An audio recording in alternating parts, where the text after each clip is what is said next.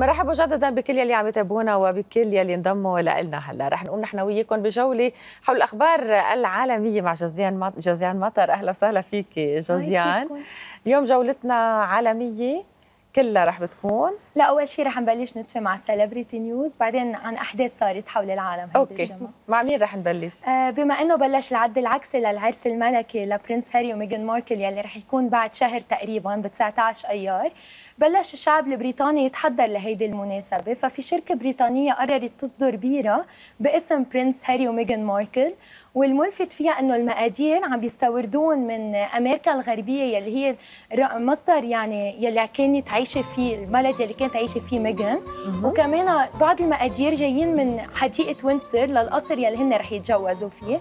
هيدا نوع إنه ت يرمزوا للتجانس والوحدة بيناتهم. الانسجام بيناتهم للأقطاب كلها. بس ذكيه الفكرة اشتغلوا إيه، أكيد. الجمهور أكيد أكيد رح يشتري وش بده يجرب.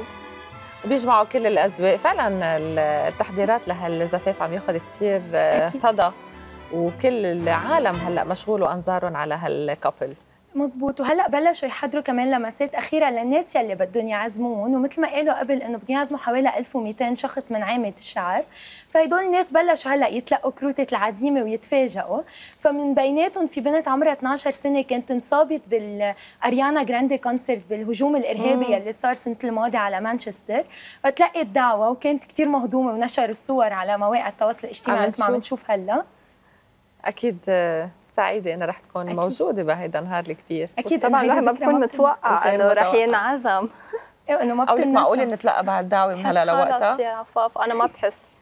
بركن على هلا بتعملنا واسطة جوزيان. ممكن لأنه إنه مثلا ترامب وباراك أوباما وتيريزا ماي رئيسة الوزراء ما انعزموا على العرس. وهذا كان شيء كثير يعني لقى اصداء غريبة عند العالم. بس قالوا إنه ممكن يكون السبب إنه هن ما بدهم يوسعوا بدهم كانوا يحصروا الدعوة للناس يلي عندهم صلة آه، قرابه أو مثلا عندهم علاقة مباشرة معهم. العائلات. مزبوط. وكمان كانوا قايلين إنه العرس رح يكون على أقل ناس مدعوين مش مثل وقت Prince ويليام وكيت ميدلتون لأنه ال Prince ال ويندسور palace محل ما رح يتجوزوا مساحته أقل. ما بيساع هالعدد الكبير. هلأ ثاني خبرية كانت شغله الشغل الشاغل على ال social media هي كلوي كارداشيان يلي استقبلت مولودها الأول بنتها. آه بس قبل ما تولد انتشرت خبرية ما حدا بيعرف إذا مزبوطه أو لا يلي هو تريستن تومسون جوزها كان عم بيخونها وانتشر فيديو هو مع وحدة ثانية بس ما علقت كلوي على هالموضوع وراحت ولدت كان جوزها موجود معها وقت الولادة وهيك. آه وشيء كان كثير إنه مستغربين الفانز. خطوة ذكية منها يمكن لحتى ما تعمل بلبلة بالموضوع. إيه هنا تسلط الاضواء على الحدث الأهم اللي هو المولود. إيه ناس قراب منا قالوا إنه هي بدها هلأ تركز على بنتها وتستمتع بوقتها. فبهالوقت شكلها تعودت على الخيانة. أو تعودت. كمان أولى كمان أولى. شكلها تعودت حرام كلوي. عندهم إشياء غريبة عجيبة دايما دايما خيانة. آه، فمن بعد ما غضوا النظر عن جوزها صاروا ال fans بدهم يعرفوا شو بدها تسمي بنتها. صحيح.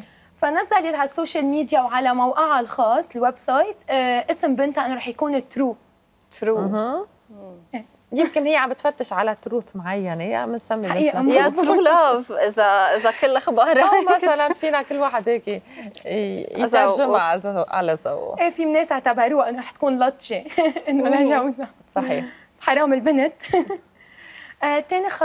ثالث خبرية مع بيونسي يلي آه بعد ما شاركت بمهرجان كوتشيلا الجمعة الماضية قررت إنه تتبرع ب ألف دولار ل منح جامعية للاولاد يلي من أصول أفريقية أمريكية. حابين يكفوا دراستهم الجامعية ومنهم قادرين. نعم. فهي قالت إنه بهالطريقة بتكون عم بتساعدهم وعم تعطيهم فرصة جديدة. عم نشوفها كنت مع بيلوك من أجمل الإطلالات يلي طلت فيها بيونسي. دي عن جد دائما إطلالتها دائما بتساعد دائما إطلالتها مميزة ودائما بتلاقيها عم بتساعد كل الأشخاص اللي حولها. مزبوط. هلا من فت بأمريكا كان في عم بيوزعوا جائزه بوليتزر يلي هي جائزه سنوية بتتقدم للناس يلي للفنانين يلي تميزوا بأعمالهم الفنيه خلال السنة. والملفت هيدي السنة إنه كندريك لامار يلي هو مغني راب عالمي كان أول مغني راب بيحصد هيدي الجائزه من 100 سنة لهلأ يعني هي بلشت من 100 سنة. هو يلي كسر رقم هيدا القياس إنه قال إنه أول مغني راب بيغني بيربح. فبنقول له مبروك. أكيد. آه، بجنوب كوريا يلي عم تشهد أعلى نسبة ناس عندهم كآبة من بعد ما يتقاعدوا قرروا المواطنين هونيك إنه يعملوا لفتة تيساعدون لهدول العالم. نعم. ففي صاحب مطعم قرر يفتح محل ديسكو آه، يعزم خلال النهار بيشتغل مش عشية.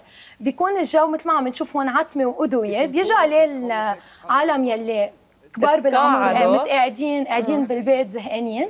بيرقصوا بيتعلموا. والحلو إنه عم بيكون في رقصين محترفين عم بيساعدوهم. حلوة الفكرة إنه بالنهار لأنه هن يمكن ما بقى يسهروا كثير وهيدا نهار عندهم كثير أوقات فراغ فهن بيرجعوا بيعملوا يمكن إشياء ما كانوا يعملوها بحياتهم. وبتذكروا شباب وبيرجعوا بيتذكروا شباب. إيه وعم بيحطون أغاني من الستينات وعم بيكون في راقصين محترفين عم بيعلمون رقص جديد. فكرة كثير حلوة. أنا شخصيا بهيدا العمر بتصور رح استمتع بهيدي الفكرة. حلوة كثير الفكرة خاصة ان كمان عم بحطوا الأغاني اللي هن ربيوا عليها. مزبوط صحيح. آه بولاية واشنطن كمان عملوا لفتة مميزة. آه في صاحب مطعم قرر إنه يوظف بقلب مطعمه بس veterans آه، أو عسكر كانوا عم بيخدموا قبل من زمان بالحرب وانصابوا أو مثلا طلعوا من السلك العسكري. فبهالطريقة إنه بيرجع بيدمجهم بالحياة الاجتماعية كمان. وبيعبي لهم وقتهم. رجعنا على نفس الفكرة تقريبا. إيه مبادرة اندماج بالحياة الاجتماعية اللي هي آه، صح. ضد الاكتئاب إلى ما هنالك. إيه ويعبوا وقتهم. صحيح. هلا آخر خبرية بالسعودية آه، أول مرة بيعملوا fashion week يلي أسبوع للموضة. كانت نعم. هيدا الشيء كثير مفاجئ للعالم. وشارك بهيدا الأسبوع حوالي 1500 آه، شخص. وفنانين وعارضين أزياء من من أنحاء العالم ومن العالم العربي. هيدي كانت مبادرة كثير حلوة خاصة إنه بالسعودية. و... وكمان بالإفتتاحية كان مشارك رجال ونساء. بس إنه أكيد هيدا الانفتاح بيضلوا بيوصل لحدود معينة إنه ما خلوا الرجال يفوتوا على الكات ووك أو يحضروا عرض الأزياء. ولكن بنضل نقول إنه هي خطوة جريئة وخطوة أولية ما حدا بيعرف الخطوات التالية كيف رح تكون. خاصة إنه هلأ بالسعودية كثير عم بيصير في أشياء حركات انفتاح صح. مثل ما سبق كمان وحكينا عنهم بتحلى الحياة. صح. نعم.